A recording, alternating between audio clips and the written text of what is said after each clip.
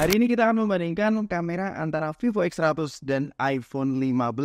Kenapa saya bandingkan Vivo X100 sebagai perwakilan Android? Menurut channel kami, Vivo X100 ini punya tahta tertinggi di rentan harga 10 12 juta. Kemudian lawannya adalah iPhone 15 di rentan harga 12 jutaan. Yuk kita bahas beberapa aspeknya dari sektor kameranya satu persatu. Nanti di akhir videonya kalian akan tahu hasilnya seperti apa.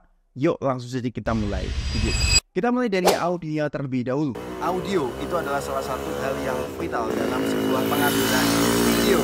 Audio itu adalah salah satu hal yang vital dalam sebuah pengambilan video. Namanya aja audio visual. Jadi audio itu bisa jadi preferensi utama apabila seseorang mau nonton konten. Namanya aja audio visual.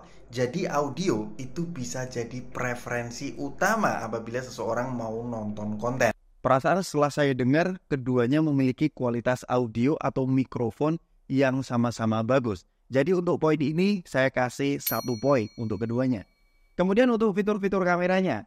Sebenarnya iPhone 15 ini sudah cukup mutakhir ya karena sudah memiliki fitur sinematik yang resolusinya bisa 4K sekarang. Kemudian untuk action mode juga ada di iPhone 15, ada time lapse, kemudian panorama, dan fitur terbaru yang ada di iPhone 15 adalah dia bisa merubah foto biasa menjadi mode portrait. Tapi kalau dibandingkan dengan Vivo X100, semua fitur-fitur yang ada dan saya sudah sebutkan tadi ternyata sudah ada semua. Bahkan di Vivo X100 itu lebih bejibul. Slow motionnya bisa 240 fps di mode Full HD. Kemudian ada Super Moon, ini untuk foto bulan. Ada astrofotografi, long exposure, yang menurut saya secara fitur-fitur kameranya, ya kamera app-nya lebih oke okay di Vivo X100. Jadi untuk fitur-fitur kamera, saya kasih poin di Vivo X100. Kemudian yang ketiga adalah selfie-nya. Keduanya sangat bisa dibilang bersaing sekali. Keduanya sama-sama bagus menurut saya di kondisi pencahayaan yang melimpah. Kadang saya suka hasil di iPhone, kadang juga saya suka hasil di Vivo.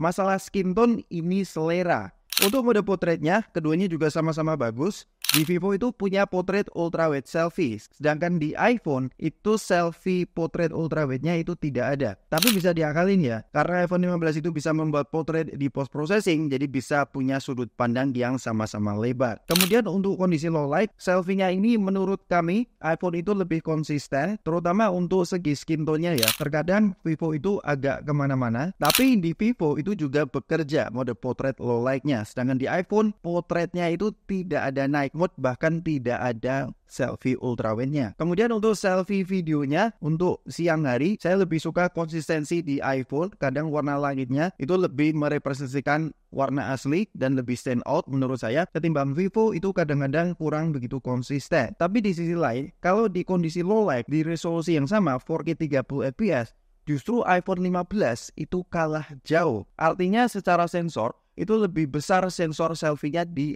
Vivo X100. Bahkan untuk cinematic portrait selfie-nya, si Vivo X100 ini di kondisi yang paling challenging di depan lampu ya, ini pakai SL60W persis di depan saya.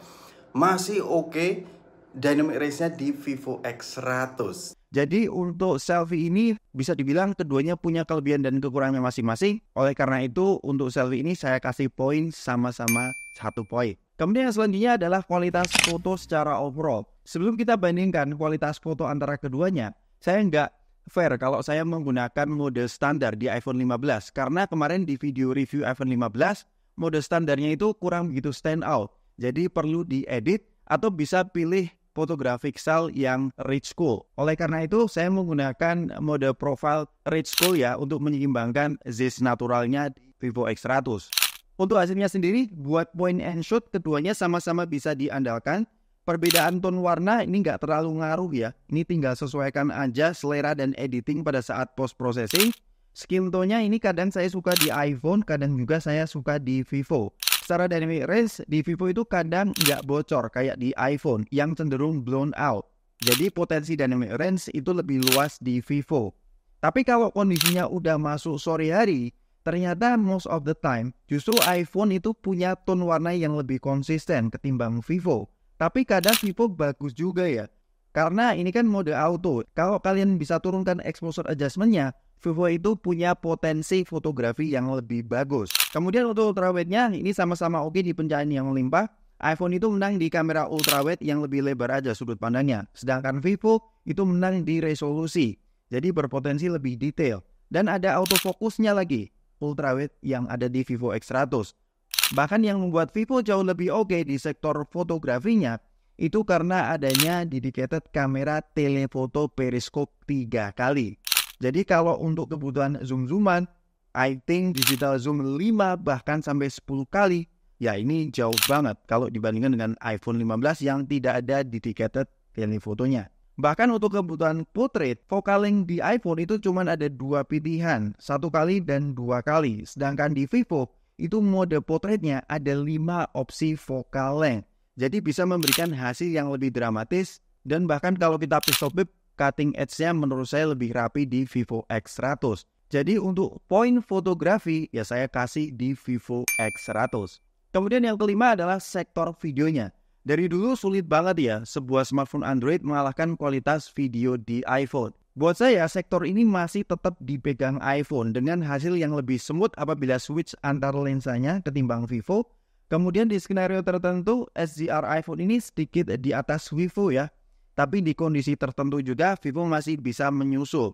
Apalagi teman-teman kalau suka upload direct langsung di sosial media, di Instagram contohnya, ya menurut saya iPhone itu masih lebih unggul ketimbang Vivo X100. Jadi untuk poin videonya ini saya kasih satu poin untuk iPhone. Kemudian sektor keenam adalah stabilisasinya. Sebenarnya keduanya sama-sama stabil di kamera utamanya. Nggak usah pakai action mode ataupun ultra stabilization, keduanya kalau dipakai jalan itu sama-sama stabil. Tapi kalau kita push to the limit, ternyata keduanya punya ekstra stabilisasi. Vivo X100 itu fiturnya ultra stabilization, tapi resolusinya cuma ada di 1080 aja alias Full HD, sedangkan action mode yang ada di iPhone 15 itu bisa 2,8K 60 fps. Bahkan kalau saya lari ya lebih stabil di iPhone ya. Jadi secara resolusi dan stabilisasi kalau kita push to the limit, ya iPhone mendapatkan poin di sini.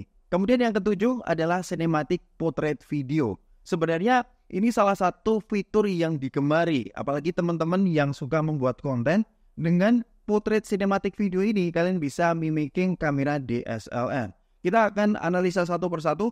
Buat saya memang secara resolusi unggul di iPhone ada di 4K, sedangkan di Vivo X100 itu cuma di Full HD aja. Tapi resolusi ternyata tidak cukup membuat iPhone itu unggul di sini. Ternyata secara cutting edge itu lebih oke di Vivo X100. Saya juga agak heran, ternyata potret video yang selama ini dipuja-puja iPhone itu bagus.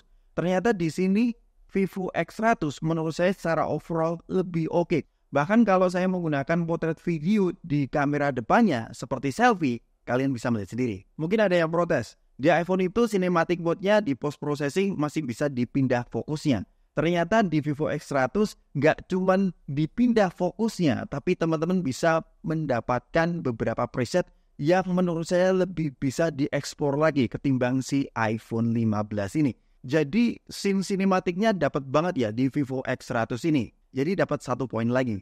Kemudian untuk kondisi low light, keduanya juga sebenarnya sama-sama bagus. Tapi kalau disuruh memilih, Vivo ini punya kemampuan light yang beda kasta ya dengan iPhone. Dari segi warnanya menurut saya lebih pas. Kemudian yang bikin stand out adalah ketika menghandle sumber cahaya seperti lampu dan flare-nya itu lebih minim di Vivo X100 ketimbang iPhone 15. Ya keduanya bersaing sebenarnya sih untuk kamera utamanya. Tapi di iPhone flare-nya sedikit lebih banyak. Coating Z ini agak sedikit membantu kalau kita pindah ke ultrawide ya lebih gelap di iPhone ya ternyata ultrawide nya di Vivo oke okay juga nih Jadi secara overall dari kategori yang saya sudah bahas tadi, si Vivo X100 ini mendapatkan 6 poin, sedangkan di iPhone 15 itu mendapatkan 4 poin. Jadi kalau kalian mengejar kamera di harga 10 sampai 12 juta, kalian bisa berpikir untuk membeli Vivo X100. Dan saya tetap keep pakai Vivo X100 ya untuk ekspor di Instagram saya @dewigadget. Terima kasih bagi teman-teman yang sudah menyaksikan video ini sampai akhir. Sampai ketemu di video selanjutnya. Peace out.